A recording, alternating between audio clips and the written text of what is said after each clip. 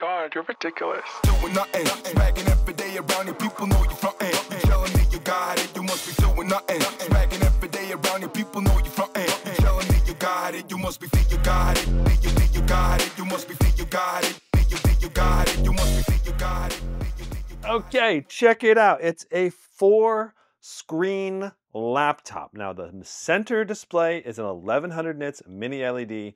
265 hertz refresh rate IPS, 100% DCI-P3 color gamut displays on the right and left, and then a like a 4K by half display here in the middle. But these three are all QHD plus 16 by 10 aspect ratio displays. These are all being ran through USB-C power delivery. So you have to have a laptop with two USB-C power outputs if you want a triple screen, or in this case, the Zephyrus Duo 16 being paired with the Monduo 16 double screen displays. I did make a quick video thing about it, but I wanted to make a more detailed hands-on video and talk about why I would or would not buy this. And I think this is really, really, really cool in so many freaking ways, but it's also not so good in other ways. The tricky part about this display, as you'll see here in a moment, is these external displays do weigh a decent amount of weight and they're going to add added stress to the laptop's hinge. I would not be moving this around without first taking it apart. If it's for the most part stationary, I think it'll be all right. Using DaVinci Resolve, I'm able to play the live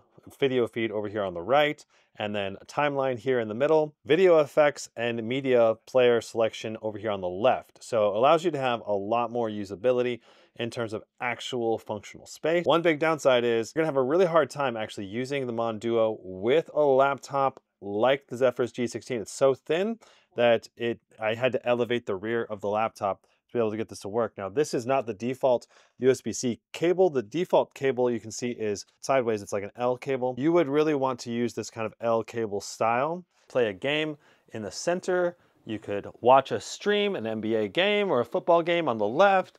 You could have your live stream chat on the bottom. There's just so much multitasking potential with a four monitor setup like this. Two giant thumbs up for innovation. And that's why I really wanted to cover it because innovation is key. I love to see laptop innovation. It's up to you if you think this would be worth it for your time and money. I think for a lot of people it would be as long as you're mainly going to be camping out in one place. In terms of compatibility, you're probably going to want a 15.6 inch up to a 17.3 inch laptop display. You have to extend this out just a little bit for the 16 inch. An 18 inch, unfortunately, is just a little too big. My Blade 18 could not handle the Monduo 16. I would love to see a similar 18 inch style thing. And I would also love to see an OLED version of this because OLED panels are extra lightweight. And I would also love to see upgraded build quality. I want to see metal materials instead of plastic. And I want to see a much better support on the rear of the laptop so that the hinge doesn't take any weight. And right now, as you can see, if I shake this table, there's a fair decent bit of wobble to these displays, which gives you a little bit of worry, right? You're afraid you're gonna cause damage to your hinge or that the whole laptop assembly might tip over or something.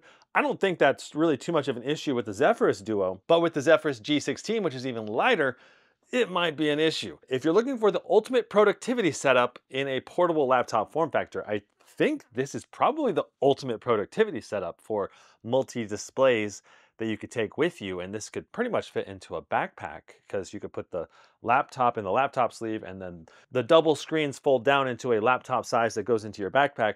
So you pretty much as long as you have two little areas you could put it into you could carry this with you. All you need is two USB-C power cables with DisplayPort support and power delivery support to be able to power each laptop display individually and separately but if we take a look at how this actually functions, it's really cool. Big caveat here is Monduo, I think, had some pretty questionable marketing around how this was gonna work in actual practice. I don't know how they've updated their drivers and software, but before, the owner of the company was trying to get me to add custom resolutions to be able to play games across all three displays. And it technically worked, but there was severe lag input between the left and the right display and the center display, the center display being very responsive, the left one being mostly responsive, and the right one being terribly unresponsive. And the fact that there was no NVIDIA surround support is the ability to combine multiple monitors in a single resolution so that in game settings, it'll let you select that one higher resolution and then it'll display the game across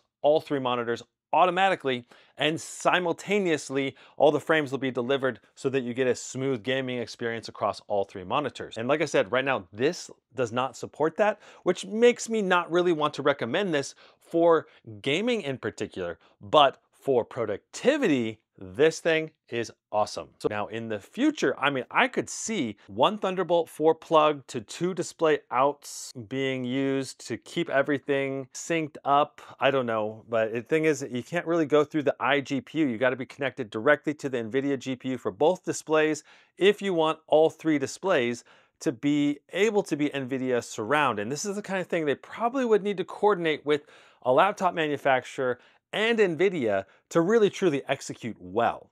And there just wasn't any coordination between all three. This was, you know, a universal laptop thing. But I could see another company like Asus or Lenovo or someone else building their own external double monitor that they attach to the laptop display like this or in a similar-ish manner and getting an amazing triple monitor setup with actual NVIDIA surround. And you could then play games across all three monitors in one giant like 7,680 pixels across. Absolutely insane by 1600. You're gonna need to use a lot of upscaling to be able to actually render those pixels out on a mobile laptop GPU. Don't get me wrong, a 4090, a 4080 even, 5070 Ti, 5080, 5090 laptop GPU, all of those could probably play a lot of games with upscaling. But the 5090 obviously being the most compatible with that high of a resolution, with the more VRAM that it has and the more CUDA cores, you could really actually play a lot of games probably with quality upscaling. I think there's lots of potential here. I want to see this concept fleshed out. I want to see minimal bezels between the three laptop displays. Right now there's a pretty sizable, about one inch gap between each display. So if they could reduce the bezels, they could make NVIDIA Surround support native, and then they were able to just make it all work on a software level to be able to play those games at like a huge resolution, 7680 by 1600 ooh, that would be a really sweet setup as far as gaming goes. As it is right now, it's just like an ultimate productivity setup, not a gaming setup. Like I said, because of the issue that each monitor has a slightly different response rate. Even though they're 165 Hertz, the way it goes through, like one of them goes through the integrated GPU over here on this left plug, and then the right one goes directly to the NVIDIA GPU, or you can connect it with HDMI. Both of these could, in theory, go to an HDMI as well. You would think, in theory, you'd be able to get NVIDIA Surround working, but I was not able to in all my fiddling with many hours trying to get this to work how I wanted it to work. That's the Monduo. The cable that it comes with is a nice little L cable, but any USB-C data cable will theoretically work as long as it supports DisplayPort output. Along the bottom here, you can see we have a mini HDMI and two USB-C inputs. You only need to use the middle one here, I believe, to do the video input and power delivery. And then on the back here, there's also a little very stiff hinge foot that basically goes down and helps support the weight of the laptop displays. Let me go ahead and show you how to set this up. You open the laptop up, double screens open up, pull it open a little bit. Uh, you gotta make sure you do the correct one facing downward you bring it around the laptop and you just got to make sure that the little rubber feet go on the outside of the screen and the screen is completely in there and then this has a little top edge that catches. You're going to need to plug it all in. It remembers the setup, so I don't have to do any setup for the software after I plug it back in. It's just ready to go, ready to use multi-screen window support immediately.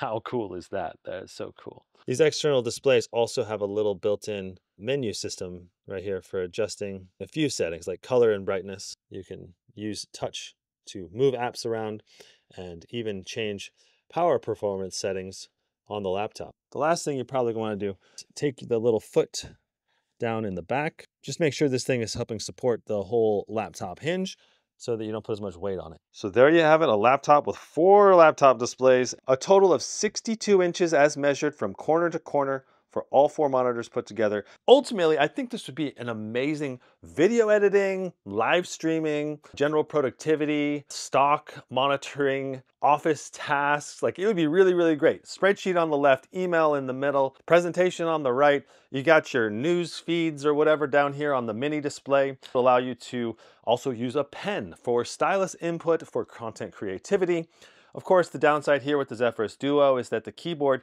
is pushed forward a little bit and the trackpad is narrower and not as big.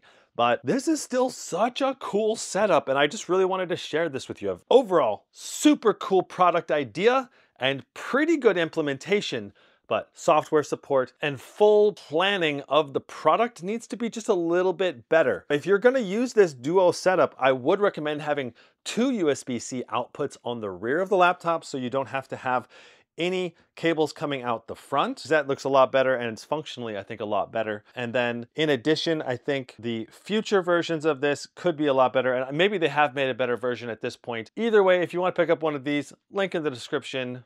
No pressure to buy, but super cool idea. Anyway, that's it for this video. We'll see you in the next one. Brandon out.